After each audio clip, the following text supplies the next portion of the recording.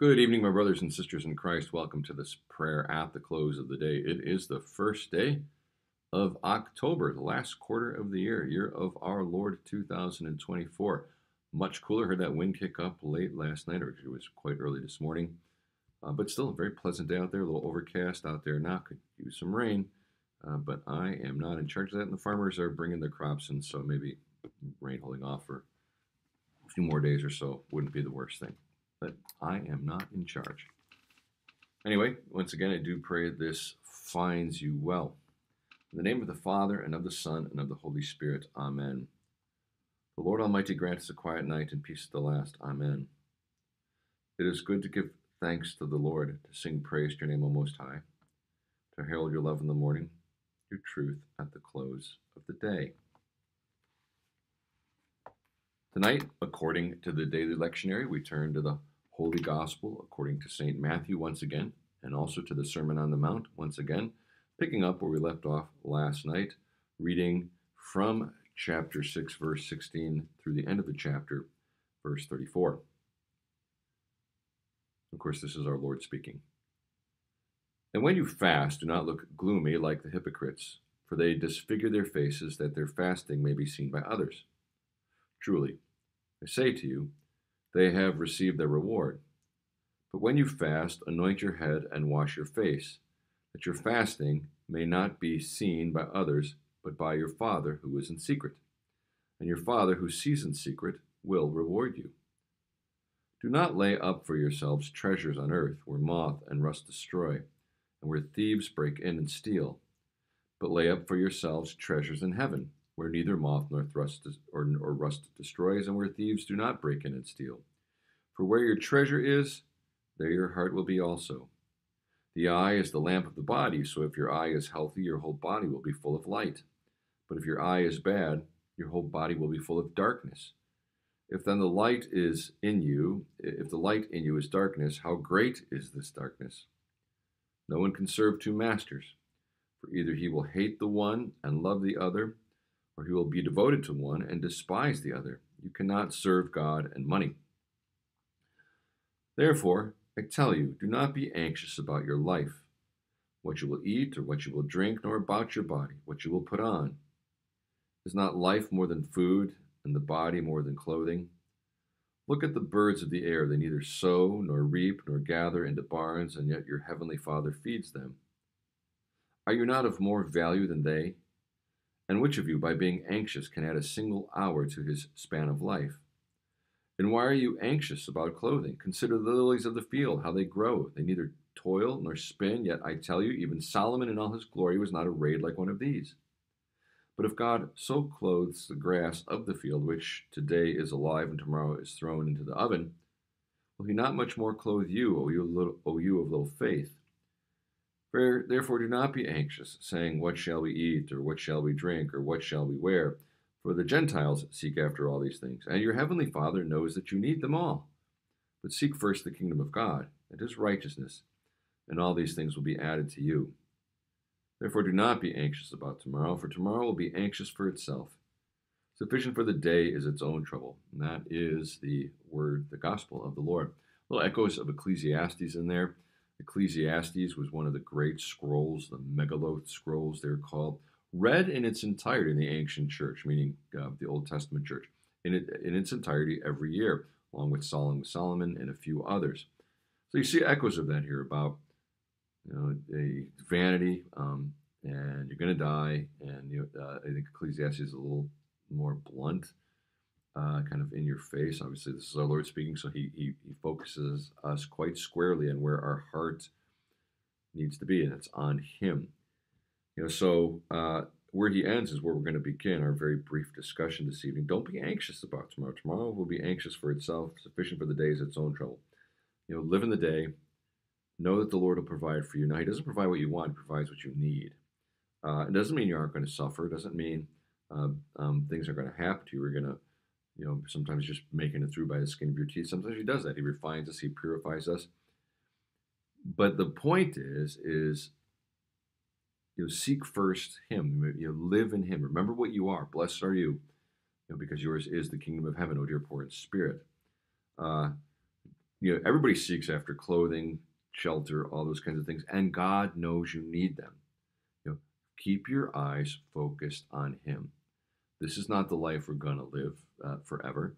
It's the life to come. We are heirs to the to the new heaven, the new earth. You know, the, we're the kingdom of heaven, but we are we are recreated in Him, and, and you know, people of the new creation. So, and if we back up in this text, it's all about that, about what happens when you don't have your focus right, when you're worried about things, you know. And I'll tell you, as a pastor, some of the most joyful, happy houses I have been into, uh, the most you know wonderfully pious houses I've been into, and and it in uh, to use a, a, idiom that my mother liked to use, you know, uh, they didn't have a pot to in and yet uh, joy just permeated the house. Laughter, uh, people had you know all kinds of jobs to do around the house, and sometimes it just looked like chaos. Uh, but there was this wonderful joy, you know, was you know pulsing through the house. Uh, the joy of being a Christian in Christ, knowing that you know, and often when you have large households and stuff like that, boy, things get pretty tight. You know, little changes in the economy don't affect uh, uh, uh, um, you know, maybe a, a, smaller household as much, really affect a larger household. I mean, think about it. I mean, only so many hours in the day, and so many, only so many jobs you can work. Uh, and so you you work, and let's say you're a tradesman. You know, your income is not, you know, doesn't have a big potential for large growth. Again, there's so many hours, only so many hours you can work. And uh, anyway, you know, so that money has to go farther with more children. But still, you know, these God will provide, you know, and, and the joy that these people have. It's just simple. It has nothing to do with money. And I've been in houses where it's incredibly wealthy, but they're they're they're they're cold, sterile. Um, uh, uh, you can see the focus at times. I mean, you know, they're, they're wealthy people who, of course, uh, and, and uh, um, that don't have large families, often sometimes because God didn't bless them with one, that are very pious and very joyful and stuff like that. But it is interesting uh, my point is there's not a correlation between money and peace and joy. And our Lord is trying to teach us that. And if you think, you know, that if I if I go down that path where money is going to solve all my problems, you have an idol, and it's not God. You know, so that's this theme that's running under this. You know, you're you're going to start looking at things the wrong way. Your eyes are going to become polluted with looking at things the wrong way. You, you covet you know, instead of just trusting in God to give you what you need, sometimes it might be just what you need uh, and just when you need it. Uh, but uh, you definitely, you know, will be joyful and you know, you'll, you'll be anxious at times. But remember, He reminds you, you don't, you know, God knows what you need. He knows what you need. it, it is. It's a very interesting text. Remember, He is.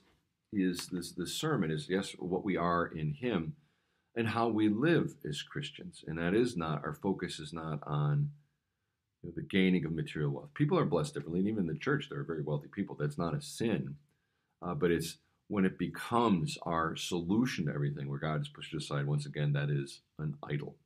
Um, you know, the in this theme comes up, you can't serve God and money. Paul echo that. You know, the uh, uh, you know the love or pursuit of money is the root of all kinds of evil. You know, when when obviously, we have to have money to pay bills and stuff like that. But when that becomes the thing that you cherish and love and pursue more than anything else, you know, it is the root of all kinds of evil because you have an idol. Uh, so, uh, our Lord is reminding us be at peace. Don't be anxious. There's, you know, yeah, we see that, you know, He sees the trouble around you, but He knows what you need and He will give it to you. And that is just what you need. So, um, again, I'm not saying that, you know, uh, if you have great faith, you'll be you know materially blessed. You'll be blessed in the sense one, you're you're dressed in His righteousness. You talk about being arrayed by Solomon. You're dressed in His righteousness, and you are an heir to the kingdom of heaven. But according to His good and gracious will, He'll give you what you need to support this body and life. And we pray for that every day when we pray the Lord's prayer. Okay. I believe in God, the Father Almighty, Maker of heaven and earth, and in Jesus Christ, His only Son, our Lord who was conceived by the Holy Spirit, born of the Virgin Mary, suffered under Pontius Pilate, was crucified, died, and was buried. He descended into hell. The third day he rose again from the dead. He ascended into heaven and sits at the right hand of God the Father Almighty. From thence he will come to judge the living and the dead. I believe in the Holy Spirit, the Holy Christian Church, the communion of saints, the forgiveness of sins, the resurrection of the body, and the life everlasting. Amen. Lord, now you let your servant go in peace. Your word has been fulfilled. My own eyes have seen the salvation which you have prepared in the sight of every people, a light to reveal you to the nations and the glory of your people Israel. Glory be to the Father, and to the Son, and to the Holy Spirit, as it was in the beginning, is now, and will be forever. Amen. Our Father, who art in heaven, hallowed be thy name. Thy kingdom come, thy will be done on earth as it is in heaven. Give us this day our daily bread, and forgive us our trespasses as we forgive those who trespass against us. And lead us not into temptation, but deliver us from evil. For thine is the kingdom, and the power, and the glory, forever and ever. Amen. Lord God, Heavenly Father, we pray for deliverance against temptation and evil. We ask you to strengthen us in these dark and latter days. We pray for those who are addicted to substances and other things, behaviors, and those despairing of your love, that they may know of your forgiveness and your and find healing in, in your mercy.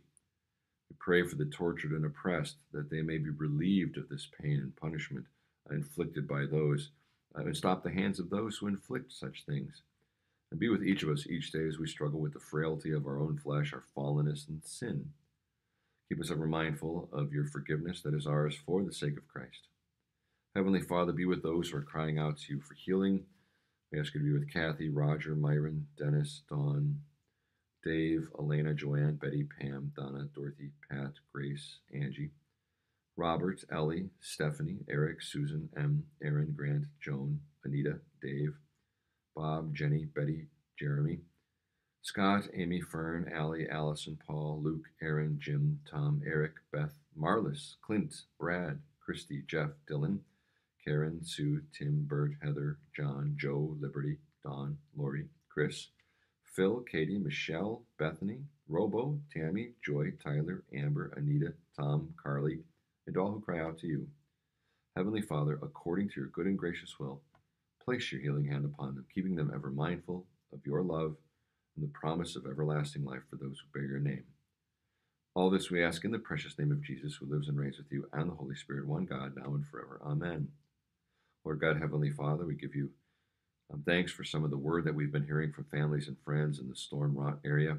Pray that you continue to be with workers and uh, searchers and rescuers, that they may be your instruments in rescuing people uh, from uh, um, isolation and, and uh, lack of food and water. We, we pray that you'd uh, bless the work of relief workers, that, uh, that water and food would be quickly distributed, and power and roadways and transportation would be quickly, quickly be restored. Heavenly Father, we entrust these people to your care. All this we ask again in the precious name of Jesus, who lives and reigns with you and the Holy Spirit, one God, now and forever. Amen. Thank you, my Heavenly Father, through Jesus Christ, your dear Son, that you have graciously kept me this day from you graciously kept me this day, and I pray that you would forgive me all my sins where I have done wrong, and graciously keep me this night. For your hands I commend myself, my body, soul, all things. Let your holy angel be with me, the evil foe may have no power over me. Amen. Let us bless the Lord. Thanks be to God. Turn to um, 748. I'm but a stranger here. I'm but a stranger here. Heaven is my home. Earth is a desert drear, heaven is my home. Danger and sorrow stand round me on every hand. Heaven is my fatherland, heaven is my home. What though the tempest rage, heaven is my home. Short is my pilgrimage, heaven is my home and time's wild wintry blast soon shall be overpast. I shall reach home at last, heaven is my home. Therefore I murmur not, heaven is my home. Whate'er my earthly lot, heaven is my home.